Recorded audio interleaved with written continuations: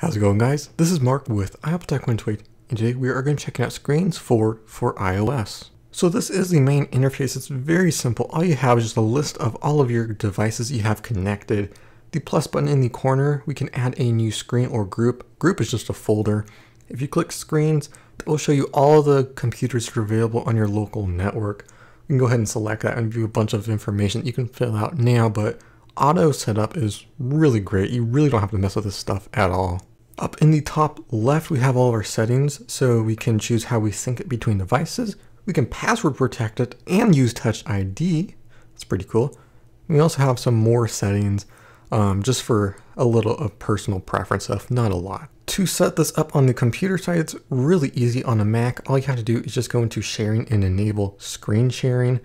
And this is pretty much how the thing works, is it connects as a screen sharing device as if it were like a Mac, as you can see up in the top corner. And when it's connected, it shows that it's a screen sharing device that's connected. This also works on Windows and Linux. Windows is not as easy. You have to download one of their apps or a third-party app that will allow you to do this. In Linux, it's very similar to Mac. All you have to do is just enable a setting and you're pretty much good to go. Once you've added a computer, all you have to do is click it. It will then download and connect to the computer. And it's that simple and easy. And as you can see, I get full control of the computer. So I'm not even touching the keyboard or mouse, but I am controlling it from my iPad. Um, so there's a couple of modes that you can use. You can use tracking mode where you can use your finger as the tracking. You can click by a tap and you can tap and hold as kind of like a click and hold and you can do a two finger click for a right click and you can also do two finger drag. Taking a look around the interface, right here we have our keyboard button and all these different quick actions for the toolbar, which is really awesome. So you can get keyboard shortcuts, including a dedicated button for Spotlight. Under the share panel, um, we can click this first one and it will give us a real share panel. Or if we can click it, we can do a one by one view so the screen can actually fit the um, iPad or your iPhone.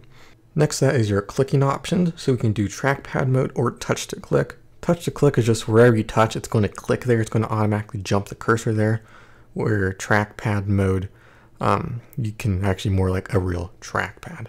Next to that, we got observe mode, so we can see what's going on without having to interact with it. We have curtains, so we can control the computer without the other person seeing it. And then we have a, a bunch of other clipboard options, 1Password support, and a link button to disconnect your connection with the computer. I did notice a lag on the computer side with the mouse when I was controlling it from the iPad. And then when I was controlling it on the computer, there was a lag on the iPad. But when you were actually using it on the app, um, there was no lag at all on your side. It's just on the other side. So that's really not a huge issue to me though.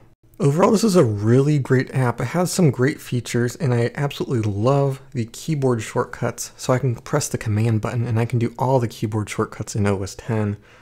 Um, I like how when you connect it to your computer, it's really easy and it's actually using it as a screen sharing device rather than actually adjusting the screen dimensions to fit your iPad.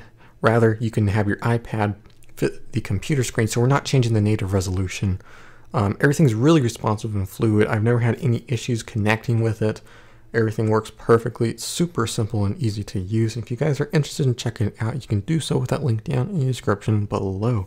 But that's going to do me for this video. Thank you guys so much for watching as always. This is Mark with iAppleTech128 and have a great day.